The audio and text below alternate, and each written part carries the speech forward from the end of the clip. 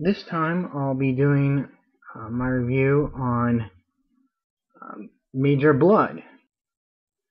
Uh, Major Blood is a little bit different from the other figures in that his uh, right arm here uh, is all armored, so it does not have the swivel or elbow bend uh, that he would have on his left arm or all the other figures have.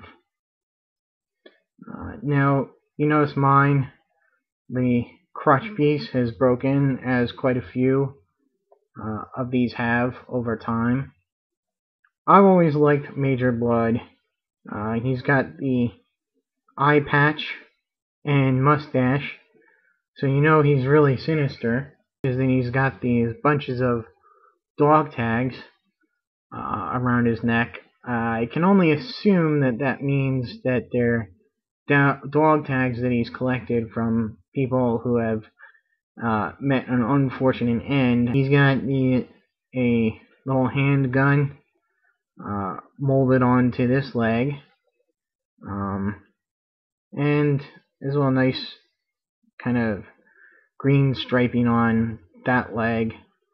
Um, and a nice little mercenary symbol on this shoulder uh, or this bicep. Um, it's kind of worn away, so you can't see it, but overall nice. Uh, he comes with his little handheld uh, rocket pistol thingy, the rocket part, and a launcher. Removable backpack with uh, three other uh, rockets. Uh, he's got the dog tags, which are now separate, and uh, he's got a nice little different kind of chest piece protector uh, with a, I don't know, you can see the cobra symbol uh, on it uh, right there. There's his little uh, mercenary symbol, whatever it is, uh, on that arm. Uh, he retains the green stripe on that side, uh, but adds it on this side with um, his uh, with that sidearm missing.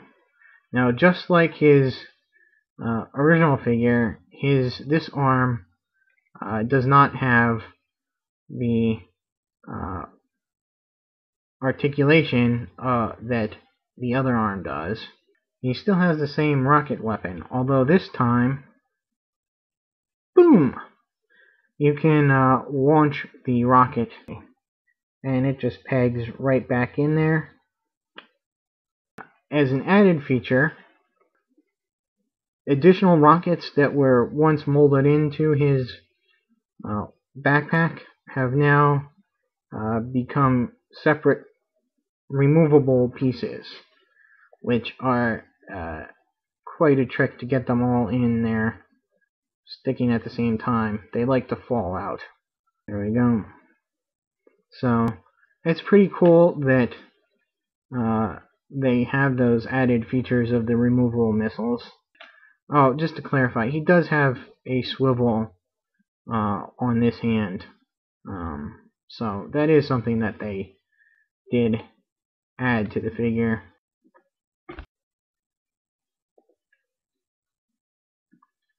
That is Major Blood. Uh, and if you want to, here's his little uh, file card. You can uh, freeze frame and read it at your leisure.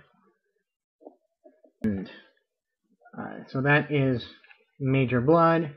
Until next time, see ya.